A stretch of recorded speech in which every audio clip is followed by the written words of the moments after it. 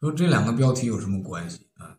有，都是指的贪，嗯，一个贪字了得。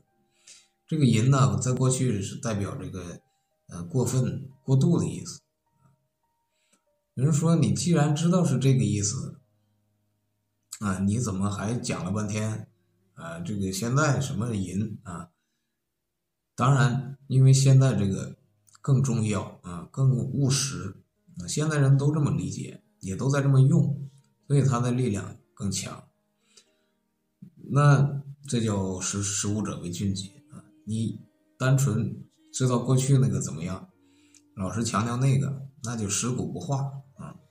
首先，第一，你一定是这个意思吗？啊，在过去这个一个字代表很多意思啊，连考古学家有的还都没弄明白怎么回事啊。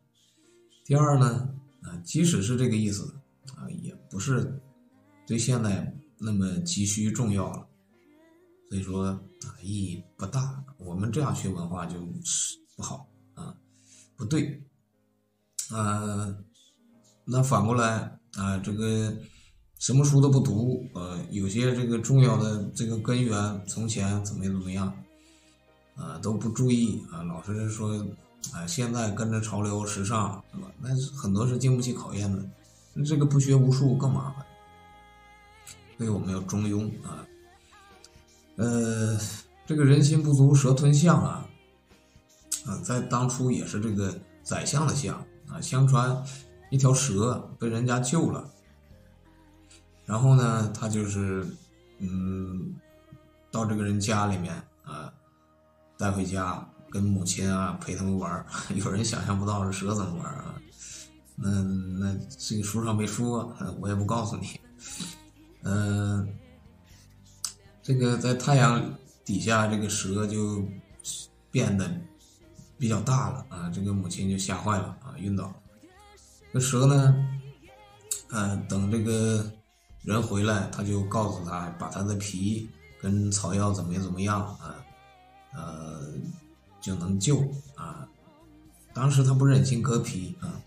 那后来蛇一再坚持之下，啊，啊做了好了，然后后来一个皇帝，呃，就是当时的呃皇帝说想要夜明珠，这个蛇啊就告诉他，呃，我报答你们的时刻到了，啊，嗯，你把我的眼睛一个挖下来，我不是一般的蛇啊，晚上那个灯笼的亮其实是我两个眼睛，然后。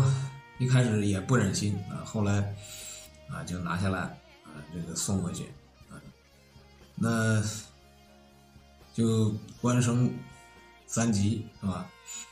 然后后来这个皇帝越看越喜欢，说还想要啊，然后这个人就回家 跟这蛇说，他是一次一次的递进的啊，这个蛇哎很无奈啊，就是说好吧，那个也给你。然后就，啊，这个皇帝肯定也是昏君是吧？那就封成宰相了，嗯，就以此。那有一次皇帝病了，啊，说是，呃，怎么样？你那个能救我？就那个蛇呢，说我这个肝儿是能救你，但是你要挖掉了，那我就没有命了。那他说我当初就是 啊救过你的命啊，是吧？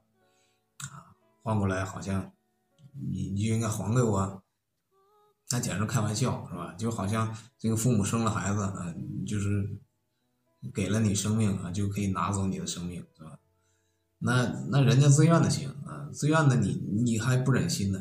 这种逻辑这种互动才是对的啊。然后这蛇啊说你来吧，啊他就进去啊张开嘴啊说你。你你你挖啊进去，这个蛇就闭上嘴啊，它就出不来了。这个故事呢，也是古人这个经典传下来的，是真是假，我们不可考究了。很多这种神奇的事儿啊，没有一般人的诚心不够的话，你是啊理解不到的，也更是见见不到的啊。就说这个贪嗔痴慢疑啊，这个在。